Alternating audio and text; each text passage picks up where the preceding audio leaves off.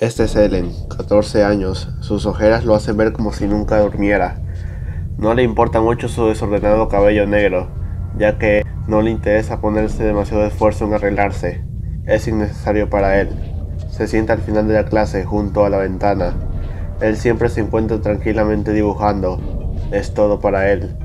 No le gusta socializar con las personas, haciendo de él una persona solitaria.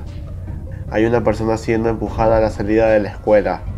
Ese es Tom, quien siempre es víctima de bullying. No porque alguna vez haya hecho algo, solo que la gente le desagrada. Estas cosas pasan a menudo y Ellen sabe de ello. A pesar de que se siente mal por Tom, no quiere interferir, ya que sería bastante molesto. Durante el recreo, Judy dijo que había perdido su reloj, así que comenzó a buscarlo. Ellen no quería ayudarla, ya que no era de su interés. De repente, alguien vio algo que brillaba en la mochila de Ellen. ¿Qué es esto? dijo Van, mientras metía sus manos en la mochila y sacaba un reloj adornado con diamantes falsos.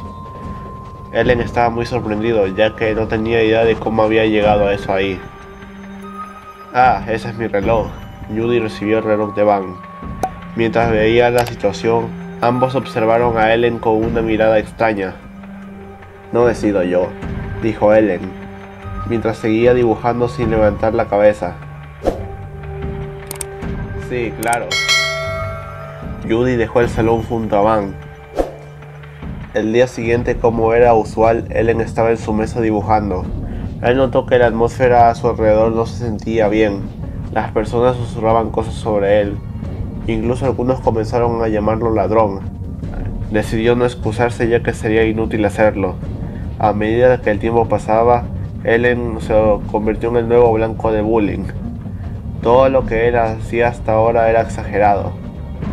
No le gustaba, pero no se resistía. Mantenía ese sentimiento en su corazón, en silencio. Hasta que un día Van tomó el cuaderno con los infinitos dibujos de Ellen, sin terminar.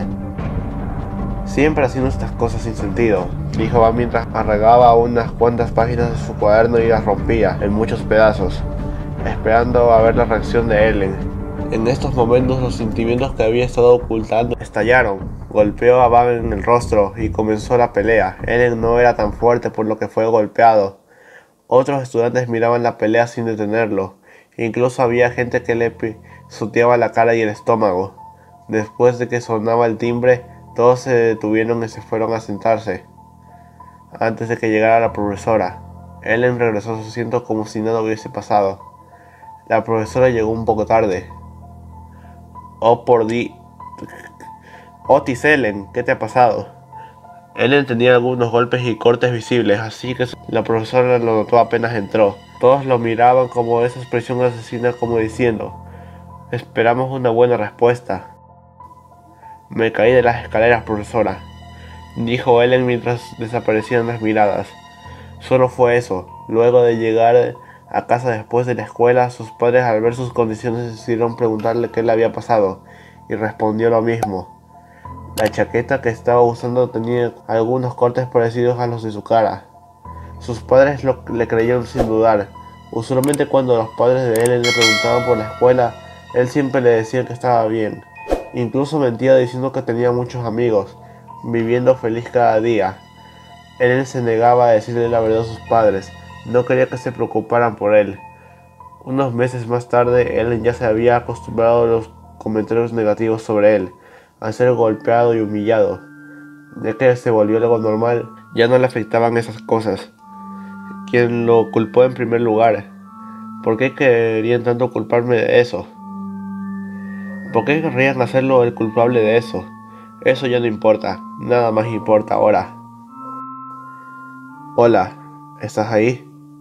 Ellen recibió un mensaje de un usuario desconocido en Facebook. ¿Quién eres? Soy Tom, tu compañero de clase. Tom nunca le había hablado con él antes, así que se sorprendió. ¿Qué sucede? escribió Ellen. Ah, ¿te encuentras bien? le preguntó Tom. No es de tu incumbencia, concluyó Ellen en la pregunta de Tom. Tom chateó con él por un rato, hasta que le dijo, Mira, sé que no te sientes bien, Estás en la misma situación que yo. Realmente quiero ayudarte, pero no puedo, lo lamento. Después de eso, Tom y Ellen se hablaron durante un tiempo.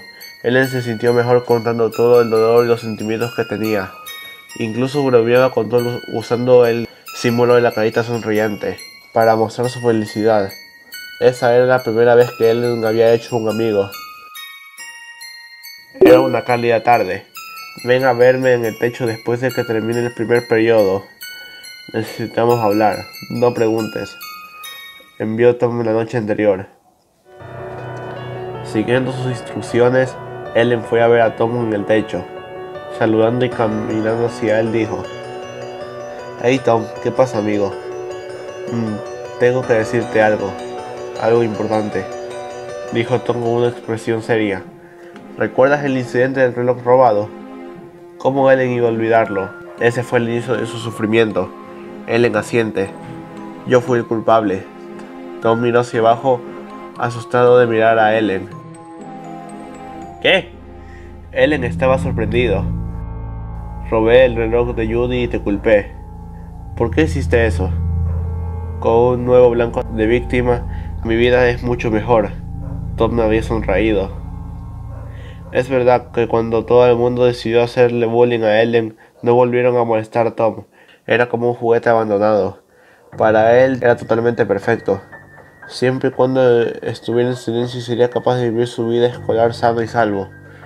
Tuvo éxito. El plan era increíblemente perfecto. Ellen agarró el cuello de su camisa y después le dio un pequeño empujón que hizo que terminara cerca del borde. Tom se resbaló y cayó, al, y cayó del techo. Ellen lo agarró al instante y trató de tirar hacia arriba pero no tenía la suficiente fuerza. Lo siento mucho, Ellen. Tom cayó y cerró sus ojos. Ellen cerró sus ojos, asustado de mirar lo que acaba de suceder. No podía imaginar lo que sucedería después de caer seis pisos de altura. La policía llegó, interrogaron a Ellen. Estaba demasiado horrorizado por el accidente y no pudo decir ni una palabra. Una vez más, Ellen se perdió en el tema de discusión de los estudiantes. Algunos pensaban que Ellen había empujado a todos desde el techo, pero la mayoría pensó que Tom se suicidó y Ellen no pudo salvarlo, ya que lo habían visto agarrando la mano de Tom antes de caer. Esa noche Ellen se encontraba en su cuarto llorando, temblando. No podía sacar la culpa de su interior. Necesitaba calmarse y de repente un pensamiento se cruzó por su mente. No es mi culpa que Tom haya muerto. Merecía morir. Eso hizo que se sintiera mucho mejor y que su culpabilidad se desvaneciera. Ellen sonrió espeluznantemente. Tom ha tenido su castigo. Supongo que es hora de que los otros también tengan el suyo, ¿no? Su llanto se convirtió en una sonrisa cubierta con una oscuridad y su sed de venganza. Los compañeros de Ellen decidieron hacer una fiesta de Halloween pero no para celebrar Halloween, solo para tener una fiesta, como siempre. Ellen había sido invitado a la fiesta. La noche antes de Halloween, Judy y Maggie se estaban enviando mensajes en Facebook. Ambas vivían en la residencia de estudiantes de la escuela. Y la habitación de Judy estaba al lado de la de Maggie. 0903 Judy. ¿Quién vendrá mañana a la fiesta? Estoy muy emocionada. 0903 Maggie. La mayoría de nuestra clase estará ahí, pero le mandé muchos mensajes a Van, y todos los mensajes que envié fueron leídos, pero nunca me contesta. ¿Qué demonios está mal con él? 0904 Judy. Probablemente esté trabajando, supongo. 0906 Maggie. Algo raro está pasando. He estado escuchando pasos viniendo de mi puerta por un largo tiempo. Creo que alguien está caminando alrededor del dormitorio. 0906. Maggie. Espera, iré a ver. Usando la mirilla de la puerta, Maggie vio algo inusual. 0907. Maggie. Oh Dios, hay un tipo en la puerta con una máscara y una chaqueta azul. Tiene un cuchillo. Y está con sangre. 0907. Maggie. Mierda, ay, está golpeando mi puerta. 0908 Maggie. Oh Dios, oh Dios, oh Dios. 0908 Judy. Cálmate y encuentra un arma o algo. 0908 Judy. Solo protégete. 0909 Maggie. Giro el pomo de la puerta, qué bueno que puse llave. 0909 Maggie. Tengo miedo, Judy. 0909 Maggie. ¿Qué debo hacer? 0909 Judy. Maggie, escucha. 0909 Maggie. Sálvame. 0909 Judy. Maggie, cálmate. 0909 Maggie. 0910 Judy. Maggie. Se muestra que el mensaje ha sido leído, pero Judy simplemente no obtiene respuesta de Maggie. De repente oye el sonido de su puerta abriéndose. Se da vuelta y siente un terrible dolor, dolor en el estómago. Una persona con sangre en su máscara y una chaqueta azul irrumpió en su habitación y la apuñaló.